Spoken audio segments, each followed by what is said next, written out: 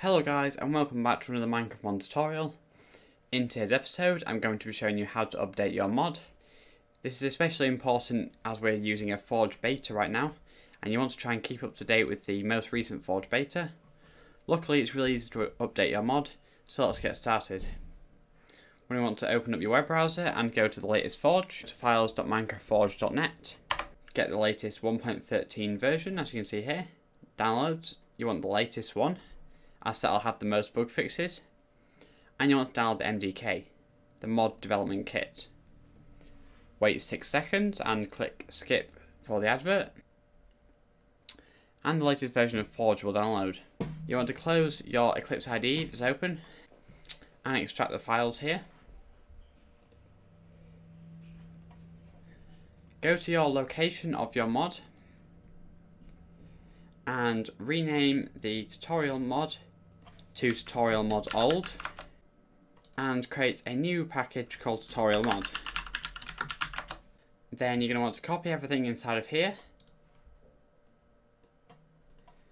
Go to the most recent um, tutorial mod folder and give it a paste. Then open up your command prompt and change directory to the location of your um, mod Then you want to run the Gradle W Eclipse again. Once you've run that, you then need to run Gradle W gen eclipse runs. Obviously, if you're using IntelliJ, you run gen IntelliJ runs. And then once you run both the commands, you should have a lot of files inside of here. You then want to go to tutorial mod old and just copy the source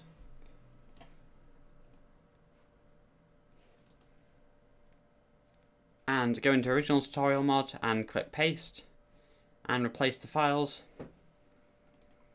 and everything will be back to normal. Click F5 to refresh. And you will also have this source main source test Java and source test resources here. Um, but these are uh, just things that Forge added, you just need to leave them in there and everything will be fine. And you can delete the example mod again and empty your recycle bin to get rid of it. Now if you click on the run button up here, it'll ask you if you want to run client or run server. Click run client, click OK. And then you should finally be able to run your mod from the Eclipse um, run button rather than using the uh, run client.batch file that we created. As you can see our mod booted um, into the game just using the Eclipse run button rather than the run client bat.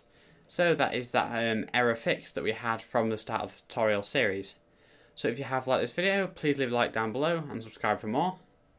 I do recommend that you update your mod frequently when Forge is in beta um, to make sure you get all the latest bug fixes and features added to Forge 1.13. So just you can come back to this video whenever you need any help updating, but it is quite a simple process. So thanks for watching, my name's been Harry, and goodbye.